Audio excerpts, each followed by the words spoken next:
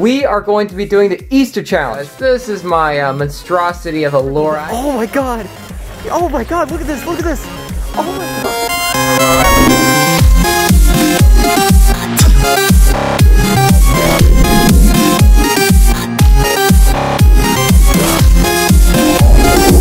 What up fishing pals, it's Ultranator X, and today we are going to be doing the Easter challenge.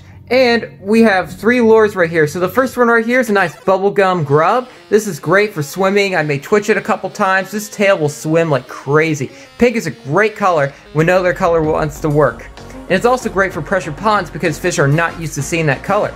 So this right here is a triple bladed buzzbait. This is crazy. I'm so used to using the doubles. You know, I'm not used to using the triples. And they even have a quadruple one out there. But as you can see, this is an S shad color.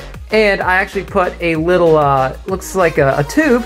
And it's, it's a weird looking tube as you can see. I forgot the name of it right now. I'll put it on the screen.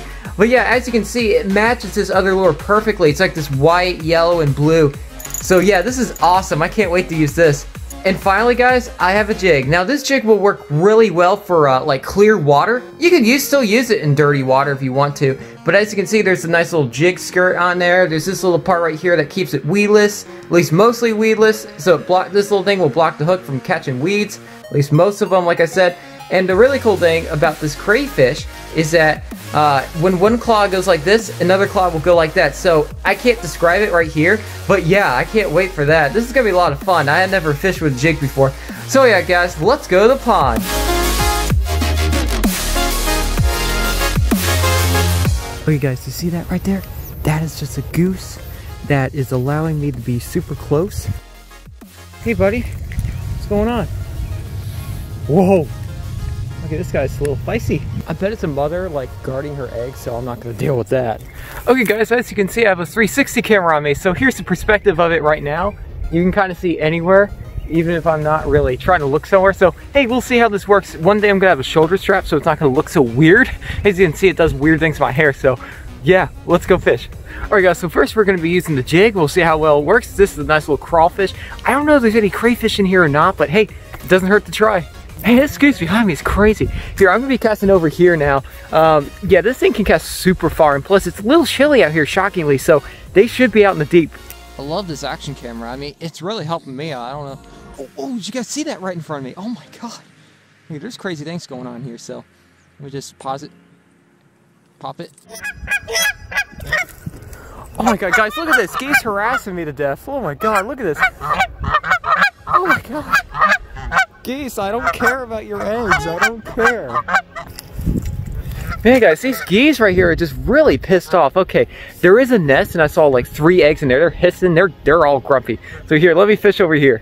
Okay, guys, now this is probably one of the stupidest things I've done, but I'm going to be using a buzz bait in this cold weather. I know, I know, not, I know it's not the best thing, especially because all the fish are going to want to be snuggled down. But hey, you know, this lure's part of the challenge, and it's sunny right now. At least the best it is, it's gonna get even colder, so I might as well go ahead and use this. All right, guys, I see something bubbling right behind me, but uh, I hope these geese don't get pissed again. Right now, I'm just not seeing anything. But there could always be a fish. Because I fished here a couple days ago. Like, here's the fish that I caught here. Yeah, yeah, so I caught this fish here right at this spot. And, uh, yeah, and this was just a couple days ago. Of course, it was a lot warmer, but I still caught a lot more fish there. Well, this is where the camera decided to go. I know, I'm on a loose gimbal, so that means I cannot control where my camera is going to be. Look at this, these geese are fighting. I'm so sorry it's vertical, but oh my god. Oh my god, look at this, look at this. Oh my god. oh my god, look, look, look, look, look. Oh guys, this is crazy. Here's what happened. So, there's a mother and a father goose right here, obviously, and they're protecting eggs uh, this is the mother here. She's protecting her eggs. And um, there's these two geese that decided to fly in. And then that's whenever, uh, I guess the male goose decided to fight the other two off. You know how animals are. Oh, they're out of there. They're out of there. There they go. Here's the pink grub right here. This should work really well. I'm to put some scent on it. This Okay, guys, so this is to be the last lure before the weird lure I'm about to show you after this one. But yeah, this uh, this is a pink grub, and this thing's like a bubblegum color. And yeah, this thing should work really well because uh, even bluegill should go after this. Even though it is a bigger grub, they should still go after it. Oh, oh, guys, did you see that? I saw saw a couple bluegill. Okay guys, the pink grub worked. Look, look at this nice little bass. I'm so sorry I couldn't show you the, the catch, but man, he's a nice little one. I like him. He's a nice little uh, largemouth bass. Now I can check off the pink grub. That's the first time on this channel. It's been so cold, but yeah, he's a nice little bass. All right, bye buddy. Oh my god, guys. This is my uh, monstrosity of a lure. I tested it, and it's definitely top water. Oh my god, you see the little hook here? So I made this myself. I have not done this kind of thing before, so we'll see how this goes. Hey, let's go back to the pond. Alright guys, look at this. Yeah, do you guys see, I don't know if you guys heard that bloop or not, but it's like this really intense, like, uh, deep sounding bloop.